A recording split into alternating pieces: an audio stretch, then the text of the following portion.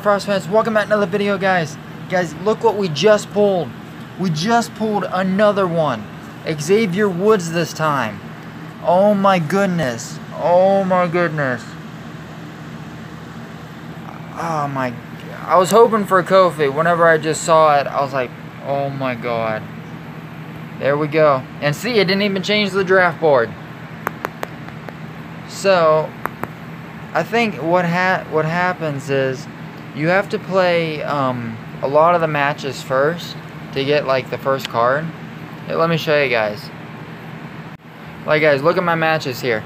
Look how many we played. I think we I think we had like 20,400. We literally played over 504 matches. Insane. That's how many matches we played. But guys, we literally just pulled another one though. But here's the first one we pulled, Rhea Ripley. So it doesn't have to be like the Kofi, like we pulled a Kofi one first and then we pulled the Kofi one. That's awesome. We just pulled another insane card. I'll be right back. Alright guys, now we're on the last little bit of it.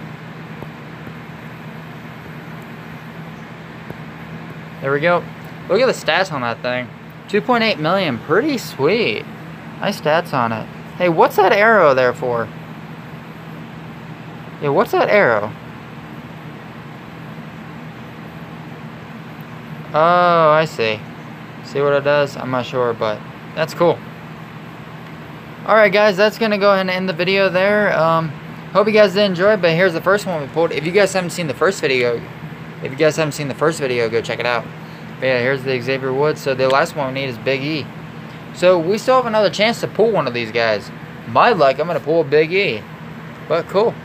But yeah, guys, oh yeah, one more thing. Make sure you guys go check out the uh, other video I just made today, well, yesterday, on the uh, brand new Fortnite Battle Pass. It's a trailer and Battle Pass in the same one. It's going to be Season 4, or yeah, or Chapter 4, Season 4, either way. But yeah, yeah, make sure, I hope you guys enjoyed the video. If you guys did, make sure to get, make sure to give the video a thumbs up and subscribe down the channel. Ring that bell for notifications to know whenever I post a video. And I'll see all my Frost fans in the next video. Make sure you guys stay safe, and I'll see all you guys next time. Peace out, guys. See you guys next time.